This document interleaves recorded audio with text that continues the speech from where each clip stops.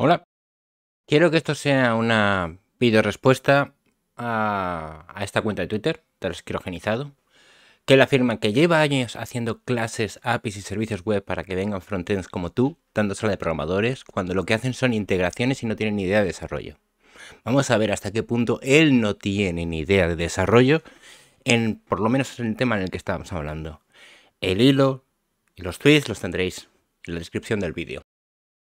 Para empezar, lo que voy a criticar es básicamente esto. Según tu afirmación, uno puede loguearse en nombre de otra persona con el response code. Estamos hablando del API de integración de Twitch, en el cual permite utilizar las cuentas de Twitch en otros sitios web. Como vemos, existen tres tipos de flow, Implicit Ground Flow, Authorization Code Ground Flow y Client Credentials Ground Flow. El Client Credentials Ground Flow queda completamente eh, descartado, ya que es para tener accesos de privilegio a nivel de aplicación. En este caso lo que nos importa es un token de usuario, es decir, las credenciales de un usuario y las podemos obtener a través de un Implicit Ground Flow o de un Authorization Code Ground Flow. En un principio, porque esto viene, lo veréis en el propio hilo de Twitter, viene en relación a un problema que ha habido con, las webs de, con la web de Esland, que, en el cual los streamers mostraban el, token directamente en la barra de navegación. Yo asumí en un principio que se estaba utilizando la Authorization Code Groundflow y obvié el Implicit Groundflow, más que nada para exponer esta cuenta. Lo veréis todo en el hilo. Bien, ¿cuál es el problema?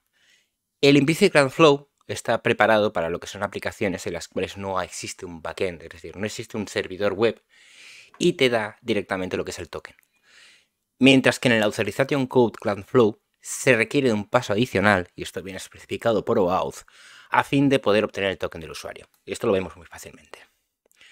En el Authorization Code Flow lo primero que hay que hacer es redirigir al usuario a la web de Auth, de Twitch, perdón, a fin de autorizar con los parámetros indicados. Cuando se obtiene, cuando se retorna, automáticamente dará un código y un scope. Una vez tienes este, el, código, el, response code, en este caso, lo que haces es mandar una petición a los servidores de Twitch, específicamente a auth token, con el secret, lo veremos luego, tu identificación de aplicación y el código, y el código utilizado, el código que te ha retornado. Estableceremos un grant type como authorization code y ya de por sí obtendremos el access token y el refresh token, ambos bastante importantes. El refresh token es un token específico, especial que te permite refrescar el access token, porque los access tokens tienen una fecha de expiración. Mientras que el implicit grant flow todo ocurre en el navegador. Eh, básicamente rediriges al usuario a esta web de autorización él te retorna con un hash. Los hash, recordemos, no se pueden acceder en los servidores web, es algo que se queda únicamente en los navegadores. Y en JavaScript podemos acceder al access token directamente al JavaScript de la página del, del navegador, podemos acceder al access token. Este token sería utilizado luego para hacer peticiones a los servidores de Twitch y poder obtener información o modificación, todo dependiendo del scope. Me hizo gracia este hombre, ya que dice lo siguiente. Te va a responder con un enlace a la documentación de cómo funciona el logout pulsando palabras técnicas y dejando abierta la respuesta. Con una habría que ver si aterriza un ovni, sale un lagarto con plumas, etc. Es un fantasma que vive de usar esta técnica. Este tipo supuestamente es un ingeniero, porque él mismo lo dice. Lleva años haciendo clases, APIs y servicios web para que vengan frontends. Vale. Un ingeniero se basa en la maldita documentación siempre. Y siempre va a referir a la documentación. Lo que me queda a mí en duda es qué clase de ingeniero es. Tengo muy claro que un senior no es. No es una persona con bastantes años de experiencia. Recordemos que yo ya tengo una edad, soy cercano a los 40 años, llevo más de 15 años en el mundo del desarrollo, y ahora sí, eso no me valida. Pero tengo una serie de conocimientos que muy probablemente un fantasma como esta persona no entiende. Ahora os voy a dejar un vídeo en el cual demuestro mediante una aplicación que utilizar el Implicit Run Flow da problemas de seguridad. Bueno, voy a presentar un poco lo que es la aplicación. Es una aplicación de Node.js realizada en Express Eh, tenemos varias rutas. La primera, en base a peticiones get. La primera, por ejemplo, lo que es el index, lo que va a construir es la, URL de, para el implicit program de tweets. lo que va a hacer es luego, a través de una pequeña función que he creado de get8html, lo que va a hacer es básicamente eh, compilar a través de Handlebars. Vemos que las, eh, las páginas las tenemos hechas en Handlebars para, eh, digamos, facilitar un poco nuestra vida, por así decirlo. Bien. si vamos a la aplicación en sí, la, la página es esto. No tiene tampoco mucho misterio. Lo siguiente que vamos a ver es el tema de logout, es decir, cuando realmente genera el este, vamos a ver que aquí hay una redirección, un redirect URI, que eso está explicado en el implicit flow. vale, esta no es. Aquí. En el implicit grant flow, los parámetros que le pasamos a la primera, a la primera petición, le tenemos que decir, esto, esto lo he puesto a true más que nada para hacer las pruebas, pero tenemos la dirección de URI, el response type, en este caso debería ser token, el scope, en este caso hemos especificado que queremos que sea eh, leer el correo electrónico únicamente. Y bueno, el estado no le vamos a pasar ninguno, pero esto podríamos utilizarlo para hacer evitar eh, ataques CSRF. Eh, también es importante el client ID, todo está generado, ya lo veréis que... bueno, luego lo eliminaré, veis que puedo mostrarlo sin ningún problema. Twitch Client ID, el puerto donde se va a crear y este es el dominio. La aplicación está montada en un ng-rock y luego veremos que esto lo puedo utilizar incluso en otro, en otro equipo. Eh, la aplicación básicamente está aquí creada, luego la, eliminaré cuando todas las pruebas estén hechas. Y bueno, cuando le dais a login, básicamente, vamos a ver lo que ocurre. Cuando le vais a login, veis que va a utilizar a través de handlebars, va a inyectar la URL aquí. Con lo cual, lo que va a hacer es redirigir a una página específica de tweets para hacer la autorización. Eh, con lo dicho, por verify, true, el, el y esperamos un token. Pasamos el tweet client ID, esto está sacado del environment file, con lo cual, ningún problema. Vale, vamos a verlo. Vemos que nos está pidiendo y nos dice, oye, mira, que quiere leer nuestra dirección de correo electrónico. Autorizamos. Y lo que va a hacer es ir a la página de auth a la, ruta de OAuth, mejor dicho. Bien, la ruta de OAuth es muy simple. Lo que va a hacer es únicamente pintar un HTML. El HTML va a mostrar el nombre y el correo electrónico. Esto lo vamos a hacer a través de JavaScript. Básicamente generamos, recogemos el, hash, porque es importante decir que esto se recibe a través de hash. Sabemos a través de cómo funciona HTTP eh, que todo lo que se recibe como hash nunca llega a triguear el, servidor, es decir, esta información no la llega a saber el, servidor, es algo exclusivo del navegador, con lo cual el servidor o el back nunca tendría acceso a los valores del hash. Eh, cogemos los parámetros, sacamos el access token únicamente de los parámetros y aquí hemos creado una pequeña función que es fetch tweet user. Eh, esta función básicamente lo que va a hacer es utilizar el API de tweets con el token que le hemos indicado, el access token, lo vimos que lo estamos reutilizando, y le vamos a pasar el tweet client ID. Esto se está pasando por handlebars. De hecho, cuando vemos la ruta, vemos que le estamos pasando el tweet, tanto el tweet client ID y el app domain, que lo veremos luego para qué sirve. Vale, volvemos aquí. Lo que hace es básicamente hace la petición a tweets, recupera la información y aquí eh, lo que hago es sacar el display name, el email y el broadcast type. Bueno, el broadcast type al final lo utilizo a través de JavaScript básico, eh, get element by ID, username, le pongo el test content de display name y el email, y esto es lo que se pinta realmente aquí. Y aquí tenemos el correo electrónico. Bien, lo siguiente es, tenemos un botón, Go to Private Area, que lo que hace básicamente es, a un evento de clic de este dicho botón, lo que va a hacer es crear una redirección al app domain pasando el token. El token ya hemos visto que es el que hemos recibido, que es el access token, lo vemos aquí. Esto lo que va a hacer es, va a mandar al, a, una, a una ruta que es login, vamos a ver lo que hace ahora, eh, y luego redireccionará. Vale, la ruta login es muy sencillita. Sacamos el token de la query. De aquí hemos creado una pequeña como especie, eh, otra función que es una réplica de lo que tenemos en el front a fin de poder, poder eh, sacar el, perdón, es este, a poder sacar la información del usuario. De aquí sacamos la user data. Eh, con dicha información del usuario, lo que hago es básicamente set session. para generar las sesiones, ¿vale? Lo que he hecho es básicamente crear un archivo de JS. A través de UID genero un ID y lo que hago es poner el correo electrónico. Por el momento no quiero más información. Podría. Esto es un JSON, podría poner más información, etcétera, etcétera. Es una forma muy burda, muy inútil de manejar las sesiones. Hay muchas formas mejores como aplicaciones de memoria, un Redis, eh, incluso una base de datos. Es mucho mejor, pues en vez de tener un archivo, tener una memoria. Pero esto es a efectos prácticos, que podamos ver qué es lo que sucede, ¿vale? Vemos que ya está logueado. Y cuando recupera, lo que hace básicamente es buscar este correo electrónico si existe como alguno de los parámetros, por eso tenemos aquí la función.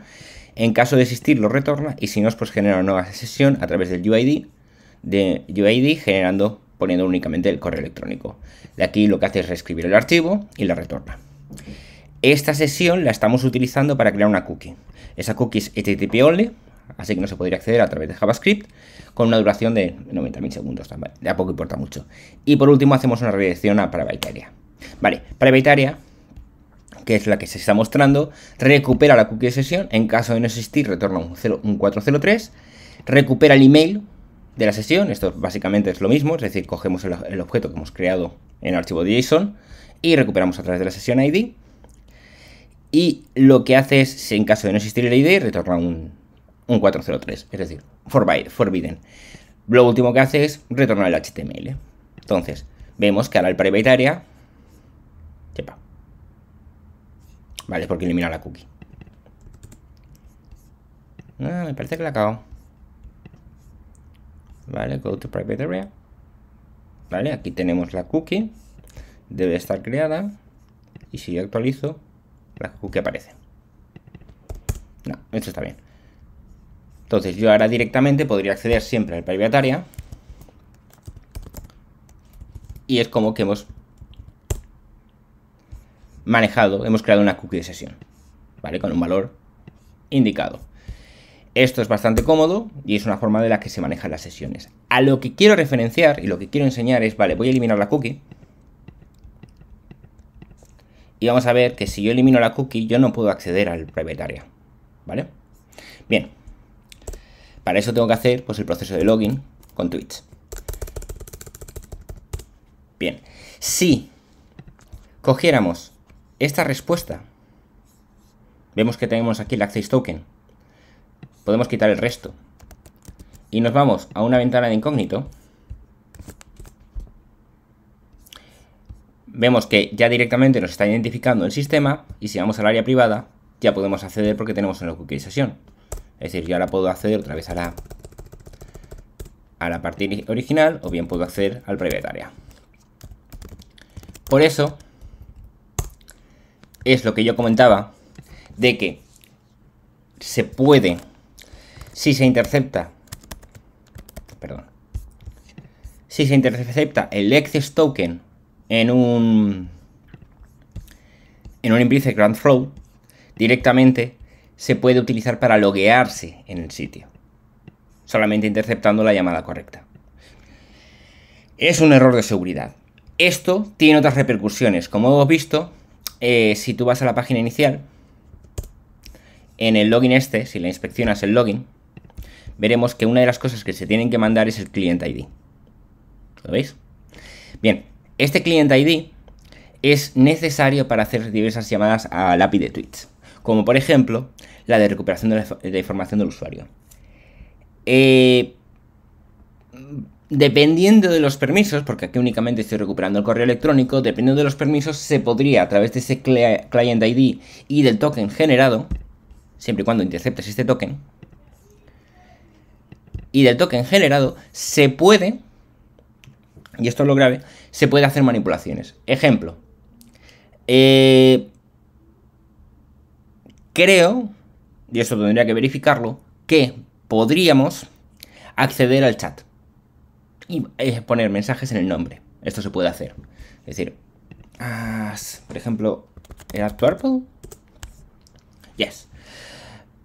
Vale, eh, es una librería que se utiliza, por ejemplo, para poder hacer unos chats. Si vamos, por ejemplo, al sistema de autenticación y utilizamos un token fijo, vemos que necesitamos el client ID, que es básicamente este valor que tenemos aquí. Perdón. Mm.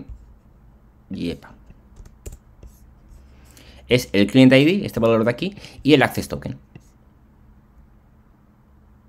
No requeriríamos el el...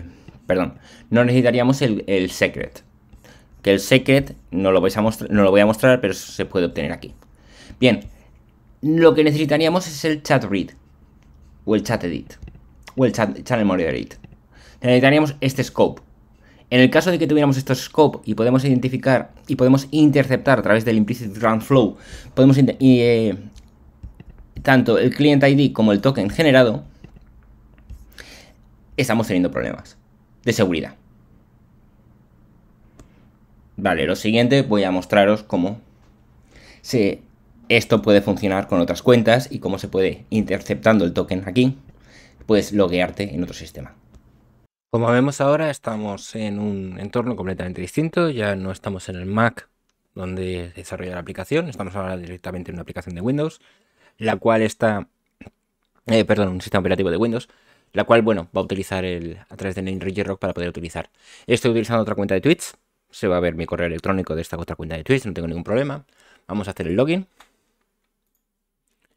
Nos va a decir que quiere utilizar de nuevo el correo electrónico, autorizamos. Aquí podemos ver mi nombre de, usuario de Twitch, el correo electrónico, vamos al área privada y ya podemos acceder directamente. Si ahora actualizará la página, veríamos que ya aparece igualmente. Y esto es porque ya lo hemos visto anteriormente. Tenemos la, la cookie establecida con la sesión y veríamos en el otro que se ha generado un nuevo archivo. Un nuevo registro, perdón. En el archivo de, sesiones. Bien, voy a eliminar la cookie sesión. Se actualizo directamente. Me dice que no está actualizado, pero vamos a utilizar el mismo hack que hemos visto voy a intentar loguearme. Para ello lo que voy a hacer es eh, utilizar la ruta OAuth y lo que voy a hacer básicamente es OAuth almohadilla access token y voy a utilizar un token de la otra cuenta. En este caso es B7 RDTY ZM91 o 3 X, G, 2 Z, C, E, W, 0, T, V, X, T, R. Lo estoy mirando en otro, en otro sistema, ¿vale? E, K, W, S. Y si todo ha funcionado correctamente, que parece que no ha sido, No, eh, me he equivocado en alguna parte del token. A ver, B7RD, B7RD, TYZM, TYZM, 91 o 3, XGZZ, XGZZ, CEW, CEW, 0TV, 0TV, y aquí está el error. No es una C, es una X. No, sigue sin funcionar. TVXTR XTR9 EKWS. Debería de funcionar. Ahí está. Ya hemos, nos hemos logueado con la otra cuenta y podemos acceder al área primada y vemos que es este. Tenemos la cookie sesión y hemos interceptado la cookie sesión. Para concluir, me gustaría decir que no utilicéis Implicit Ground Flow siempre y cuando tengáis un backend disponible. Ya lo hemos visto que si se intercepta el token retornado por el Implicit Ground Flow, se pueden llegar a hacer cosas muy peligrosas. No solamente la falsa autenticación o el robo de credenciales para poder hacer a sitios web que están utilizando el login a través de Twitch, sino que incluso como es visible el client, el client ID, es posible hacer peticiones al servidor de Twitch en nombre de dicha aplicación. Esa sería la primera conclusión por favor no utilices el Implicit Ground Flow si podéis utilizar el, Authorization Code Ground Flow. Y en segundo lugar, me gustaría decir que a estas personas que son unos boca chanclas en Twitter, porque ese es el nombre, son unos malditos boca chanclas, seguramente son gente que mm, no han llegado ni siquiera a terminar la carrera, que han empezado a trabajar, que no conocen muy bien las tecnologías, que no tendrán más de uno, uno o dos años de experiencia no los tengáis tanto en cuenta, es que ni siquiera a mí, es decir, por muchas referencias que yo pueda tener, ni siquiera me hagáis caso a mí. Hacer caso a vuestra intuición, ir a la documentación, que al fin y al cabo es lo que os convertirá en buenos ingenieros. Los RFC son muy importantes en el mundo de la informática, porque describen cómo van a ser los procesos y cómo se deben de ejecutar. Es imprescindible que los leáis y lo entendáis si queréis llevar a cabo alguna de las eh, algunas de las integraciones. En este caso estamos hablando del RFC 6749, ¿vale? De OAuth 2.0. Acudid a la documentación, no os fiéis de cualquier idiota que os venga por Twitter, validar y entenderéis. Y por último, Vuelvo a repetir, no utilicéis Implicit Run Flow siempre y cuando sea posible utilizar el Authorization Code Run Flow. Más que nada porque se pueden ocurrir, pueden ocurrir los problemas de seguridad que antes hemos mencionado. Muchas gracias, nos vemos. Tenéis todos los, eh, todos los tweets en los comentarios, incluso tenéis el acceso al propio código en los comentarios. No utilicéis dicho código en producción, no es algo que esté apto para eh, producción. Más que nada porque es un poco va a fuego, es decir, va sin control de errores, sin nada. Podéis utilizarlo como base, podéis estudiarlo, no hay ningún problema. Este vídeo está creado con licencia Creative Commons, lo podéis utilizar como queráis y nos vemos en el siguiente. Hasta luego.